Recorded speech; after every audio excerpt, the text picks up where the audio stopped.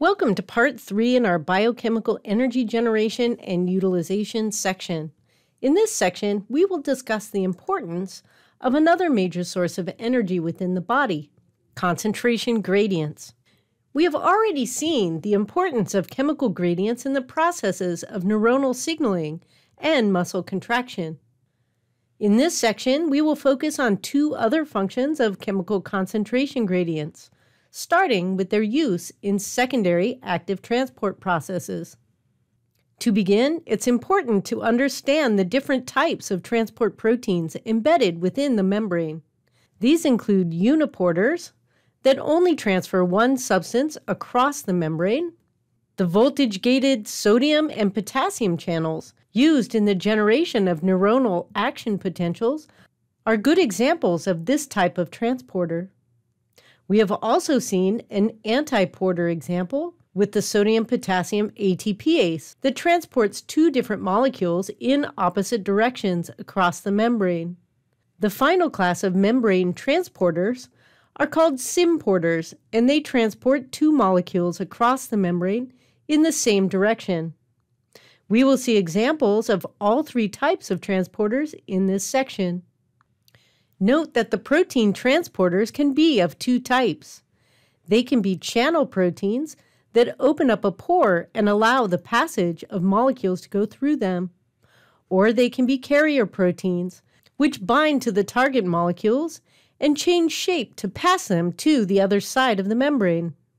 The transport of molecules across the membrane can either be passive moving down the concentration gradient of the substance and not requiring energy input, or it can be active, moving the substance against its concentration gradient and requiring energy input. Here we will use glucose uptake by intestinal cells as an example of these processes. The intestinal epithelial cells form a single columnar layer protecting the inside of the body from the dietary substances passing through the intestinal lumen. They overlay the connective tissue and smooth muscles and also contain access to both the bloodstream and the lymphatic systems. A closer look at the epithelial cells shows that they have tight junctions connecting them together. This prevents the movement of molecules from the intestinal lumen to the basement layer of the connective tissue.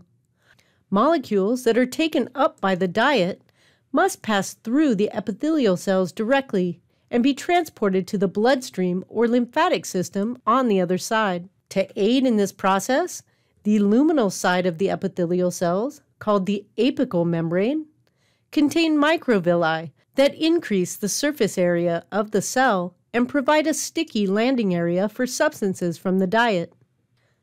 The sodium glucose symporter is a transmembrane protein and is an example of sodium driven secondary active transport that occurs in the epithelial cells of the small intestines. The sodium glucose symporter is found on the apical membrane of the epithelial cells, or the side facing the intestinal lumen. The sodium and glucose bind to the symporter and are simultaneously both co-transported into the epithelial cells. The sodium driven glucose symporter uses the potential free energy stored in the sodium electrochemical gradient, low sodium concentration inside the epithelial cells, established by the sodium potassium ATPase that is embedded in the basal membrane of the epithelial cells. Therefore, sodium influx from the lumen to the epithelial cell is coupled with glucose transport. This is known as secondary active transport. The GLUT2 uniporter is found on the basal membrane of the intestinal cell, or the side facing the underlying connective tissue and vascular system. GLUT2 transports glucose from the intestinal lumen through the epithelial cell and into the bloodstream. Concentration gradients also provide the energy required for the production of ATP in the mitochondria. As we have seen, ATP is the main energy source within the body. Hydrolysis of the high energy phosphate bonds releases large amounts of energy that are used for neuron function, muscle contraction, and other metabolic processes that we've been examining within the body. In fact, we essentially use our own body weight in ATP every day. How is that even possible? When only a small fraction of our body weight is made up of the ATP molecule. ATP must be continually recycled from the lower energy ADP form back into the high energy ATP form. So much energy is needed to run the human body that each ATP molecule must be recycled between 500 and 750 times per day. Take a few minutes to answer these questions. Mitochondria are unique organelles in that they are thought to originate from bacterial symbionts. They contain their own circular DNA and have a double membrane. The inner membrane, thought to have originated from the original bacterial plasma membrane, and the outer membrane, thought to have originated from the plasma membrane of the eukaryotic cell that originally engulfed it. This creates two spaces within the mitochondria the most internal space, called the matrix, and the space housed between the two membranes, termed the intermembrane space. The mitochondria are commonly known as the powerhouse of the cell, as this is the primary site where ADP is recycled into ATP.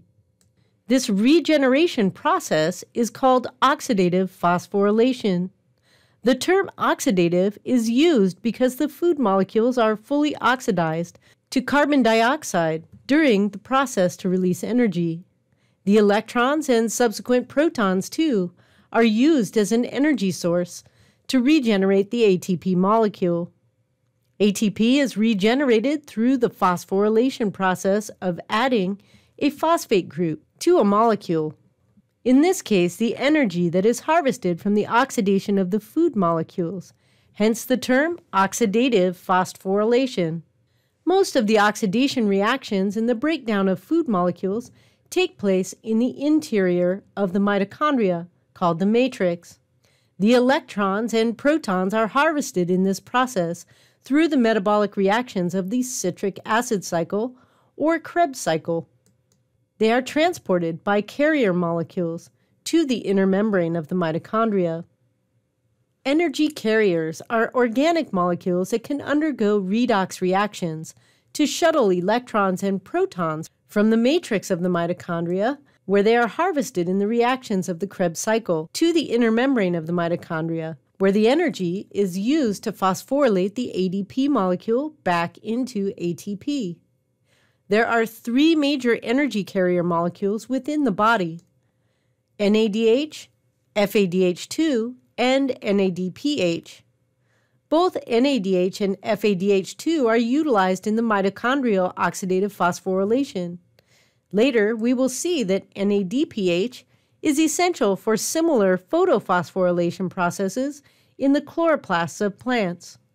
Nicotinamide adenine dinucleotide, or NAD, plus, can exist as either the oxidized form or the reduced state, allowing it to easily shuttle electrons from one location to another. NAD plus can accept two electrons and one proton to form NADH. Note that NAD plus NADH is a loose binding cofactor that can bind with an enzyme and then be released to travel to another location. The flavin adenine dinucleotide contains a flavin functional group that can accept two electrons and two protons. The oxidized form is FAD, and the reduced form is FADH2. In contrast with NAD plus NADH, the FAD FADH2 cofactor is usually a tight binding prosthetic group within enzymes and cannot readily dissociate from the system. Thus, electrons and protons flowing through this system must move internally within the protein. NADP plus NADPH is very similar to the NAD plus NADH, but contains an extra phosphate group. Once the energy carriers reach the inner membrane, the electrons are delivered to a series of proton pump proteins. Using the energy of the electrons, the proton pumps move protons against their concentration gradient into the intermembrane space of the mitochondria. Recall that the intermembrane space is the area between the two membranes of the mitochondria, the inner membrane and the outer membrane. As the intermembrane space becomes full of protons, this creates a gradient potential. You can think of a gradient potential in a similar way that humans will use the power of water in a dam to generate electricity. The dammed water holds potential energy when there is high water in the dam. When the dam is opened in a controlled way to allow the water to flow out, the power of the dammed water moving from an area of high concentration to an area of low concentration is used to turn turbines that can generate electricity. Similarly, in the mitochondria, the protons that are concentrated in the inner membrane space also have potential energy. Energy from this proton gradient is used to produce ATP through a protein channel called the ATP synthase. When the ATP synthase is bound to ADP and a phosphate ion, the channel opens, allowing the flow of protons to move through the channel. The movement of the protons through the protein causes the protein to turn like a cogwheel or a turbine. This turning process enables ADP and the inorganic phosphate to be joined together, forming ATP. The electrons that have been used to generate the proton gradient will end up reducing a molecule of oxygen into water. The oxygen supplied for this process is the oxygen that we breathe in through our lungs. Thus, the oxidative phosphorylation process is also known as cellular respiration. We will spend the next few weeks learning how carbohydrates are metabolized and contribute to this energy process.